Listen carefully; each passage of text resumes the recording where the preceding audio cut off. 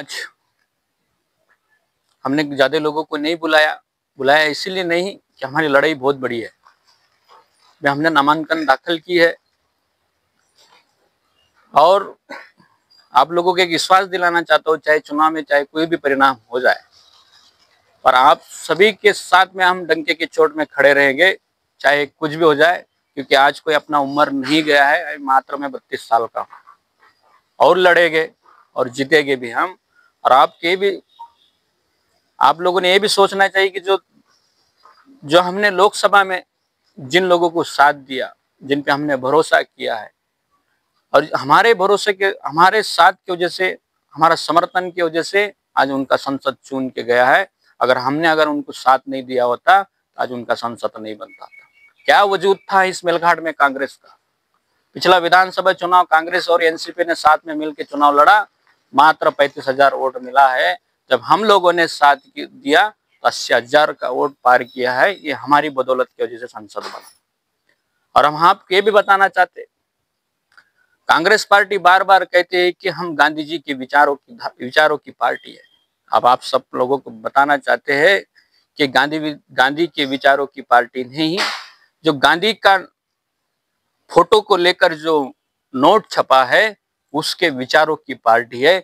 करके एक गरीब को बाजू में रखा है और जिनके पास में पैसा है, उस व्यक्ति को टिकट दी, जहाँ जो व्यक्ति का इस मेलघाट के पवन भूमि में ना सामाजिक कार्य कुछ नहीं था, न राजकीय आंदोलन में सहभाग नहीं था, न सामाजिक आंदोलन में ना सहभाग था, किसी भी जाति धर्म के किसी भी कार्यक्रम में सम्मिलित नहीं हुए, ना नेतृत्व का क्षमता है, ना कुछ चीज़ों की क्षमता है, फिर भी उसे नेतृत्व दिया है, इसीलिए दिया है उन्हें क्योंकि इस मेलघाट में जो लोग दर दर के भटक रहे, जो लोग तकलीफ़ से जूझ रहे, जो लोग मुसीबत का सामना कर रहे, जो तकलीफ़ के लेकर सामना कर रहे हैं, जिनमें अत्याचार शोषण हर दिन होता है, उन पे और शोषण हो और पीड़ित हो, इसीलिए इस तरह का उम्मीदवारों को आप सब लोगों के सामने थोपा जाता है कि जाके ये विधानसभा में सिर्फ़ मूर्ख बन के या शांत बन के बैठा रहे।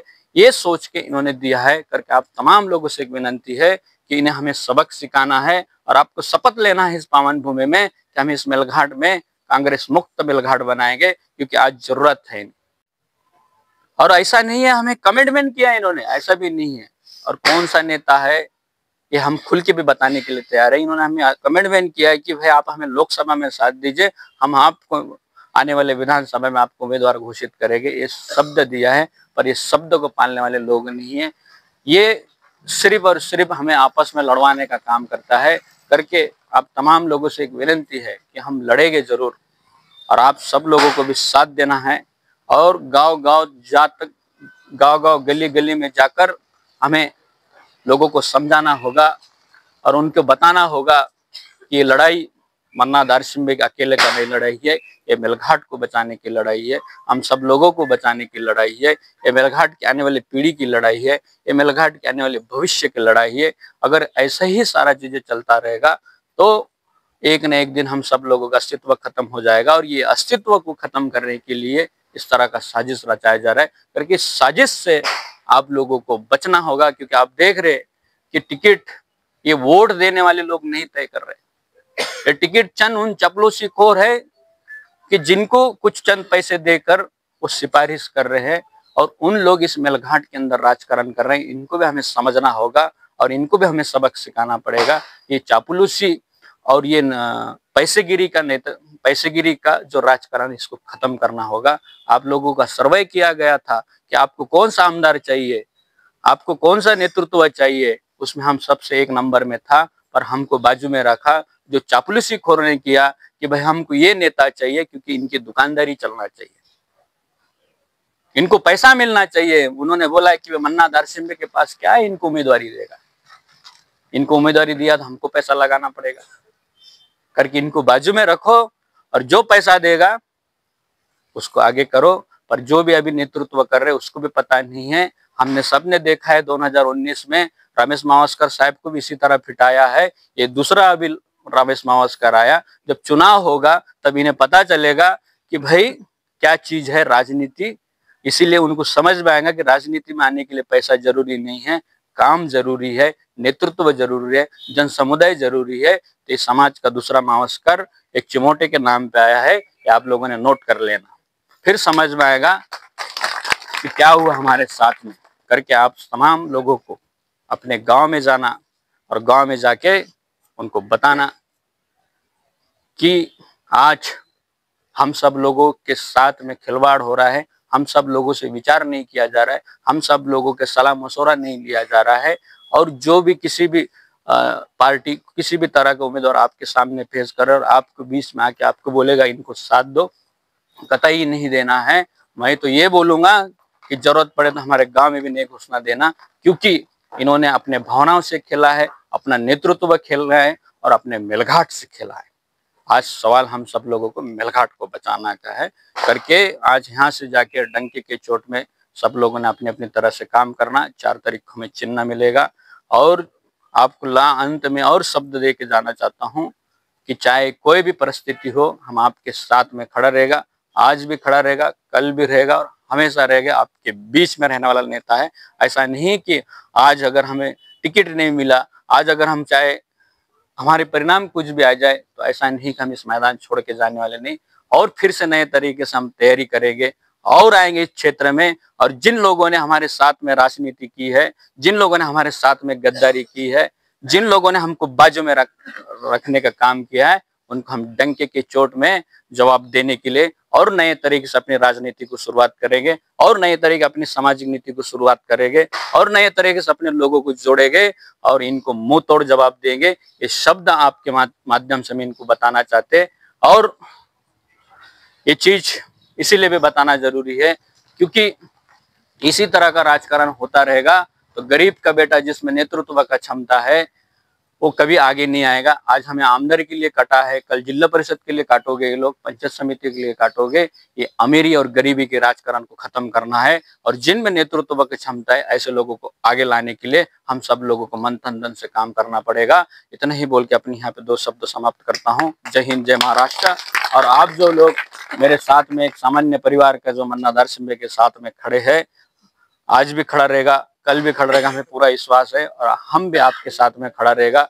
आने वाले दिनों में भी खड़ा रहेंगे। चाहे हमारे लोगों को न्याय दिलाने के लिए हमें जेल भी क्यों ना जाना पड़े, हमारे लोगों को न्याय देने के लिए हमें किसी भी प्रकार का मुकदमा हो उस पर हम डरने वाले नहीं हैं। हम लड़ेंगे ज़रूर और जीतेंगे भी ज़रूर। विधानसभा का आज हमने नामांकन दाखिल किया है।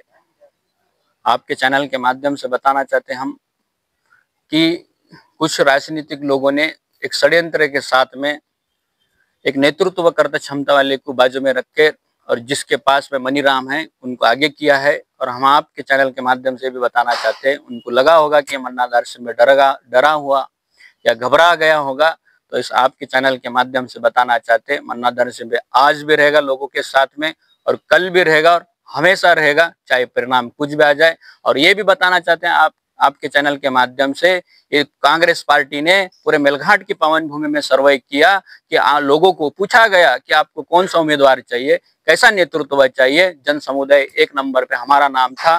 फिर भी इन्होंने जिनके पास में पैसा है चंद दिनों में कांग्रेस पार्टी में सम्मिलित हुआ और हम लोगों ने इनको लोकसभा में साथ दिया और हमारे बदौलत इनके संसद चुन के गए। नीतीश मेलघाट की पावन भूमि कांग्रेस पार्टी का कोई वजूद नहीं था, वो वजूद निर्माण करने वाला मन्ना दार सिंबे है और आपको शब्द देना चाहता, शब्द देना चाहता हूँ, जो मेरे साथ सामान्य परिवार का, जो गरीब घर में जन्म लिया मन्ना दार सिंबे के साथ इन्होंने जो राजकारण किया है, ये आपके चैनल के माध्यम से बताना चाहते हैं पूरा मेलघाट की इस पावन भूमि में। अगर इस मेलघाट की पावन भूमि में कांग्रेस मुक्त मेलघाट नहीं बनाया तो मेरा नाम भी मन्ना दार सिंबे नहीं है शब्द देना चाहता हूँ। और दूसरी बात, जो ये लोग बार बार कहते हैं कि कांग्रेस पार्टी तो सिर्फ़ और सिर्फ़ गांधी के विचारों से चलने वाले पार्टी है। हम बताना चाहते हैं इन गांधी विचारों के लोगों को, ये सिर्फ़ और सिर्फ़ इनकी नौटंकीबाज और शब्दबाज बोलने वाली भाषा है।